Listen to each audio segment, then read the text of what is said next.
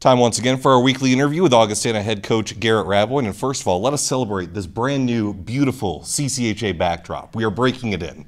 It looks good to me. It looks good to both of us. So there's one thing that's looking good. Uh, we'll start on another positive note. I asked you about it during the game on Saturday. Uh, Chad Demers back on the bench for you a couple weeks after brain surgery. Obviously, uh, just amazing for him, amazing for you guys just to have him back in the fold. Yeah, and it's uh, you know the family's all back, and and what a great boost for our guys, uh, our staff, and um, for somebody to go through what he's going through, and he missed 22 days. Uh, amazing, it, absolutely amazing, and it just speaks to I mean what courage and uh, he's he's just one heck of a guy too. So we're uh, fired up to have him back. Absolutely. So let's get to the games uh, this past weekend. Uh, it was a home and home series with Omaha, two to one loss in Baxter Arena on Friday, five to two loss in Sioux Falls on Saturday. Uh, you've kind of figured out through every weekend they tell different stories. What was the ultimate, I guess, story of this past weekend? I think we just saw a group over there that was, you know, they controlled the play really through all six periods, and they did it by just being on top of us. They were strong with their sticks. Uh, they just close time and space, and that's something that we've been preaching with our guys is to close time and space. Well, they felt what uh, that feels like, and, and, we saw what it looked like from the bench and up close. And uh, you know, as tough as it is to live through some of these lessons, uh, it, it's a great thing for us uh, and something we can really learn through. Let's uh, focus game by game starting on Friday down at Baxter Arena, two to one game. They score early, and then it was just kind of at a standstill till midway through the third period.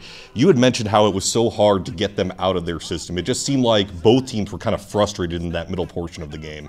Yeah, and, and, and they had the puck an awful lot, and, and they did a great job of relieving pressure whenever we tried to get a forecheck going, and they did it through just playing a, a system game, and uh, they're well coached, uh, they're very committed to that style, um, and they made it real hard on us, and they, they made us defend for long stretches. Uh, you know, they get the goal early. Um, then they get another one. We bounce back to make it close, and, and you know with the with the goalie pulled, we had a look.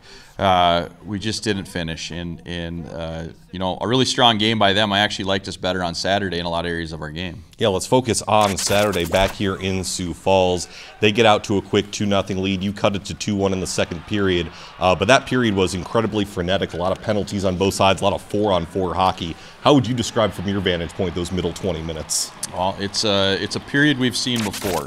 Um, now, I don't know if that is more the norm in college hockey uh, with penalties upon penalties, and, and I didn't love some of them uh, from our guys, and maybe how they were called, but it is what it is, and, and um, it just makes it really hard to keep your rhythm. Um, we did. We got it within a goal there, 2 1.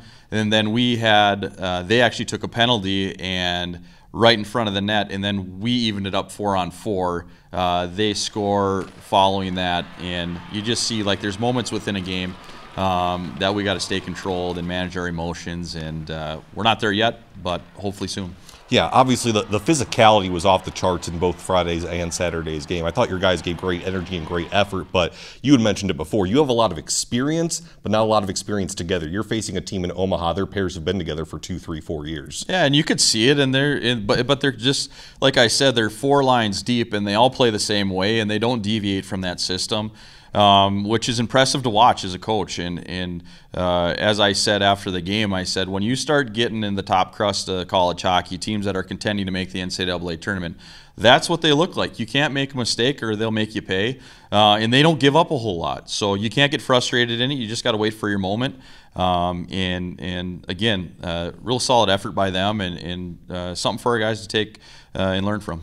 Yeah, you mentioned a couple weeks ago, especially after the series in Colorado against Denver and CC, that your players set an expectation for themselves, and now they're trying to meet it. Obviously, I can assume they did not meet that expectation this weekend. So, how did the players feel in the locker room afterwards? you could sense disappointment, and, and as a as a coach, you hurt for them because obviously they want the result and they're they're wanting better, but uh, wanting it's one thing. You have to go out there and work for it. And, and as we start our week of practice and preparation this week, I think that's just the message: is uh, are you going to be down or are you going to uh, put on the big boy boots and go to work? Absolutely, and you get another chance this upcoming weekend. You're back on the road for a two-game set at Northern Michigan, another CCHA team. Your first look at what Northern Michigan brings. Yeah, and that's uh, and Grant Potulny's done a great job recruiting there.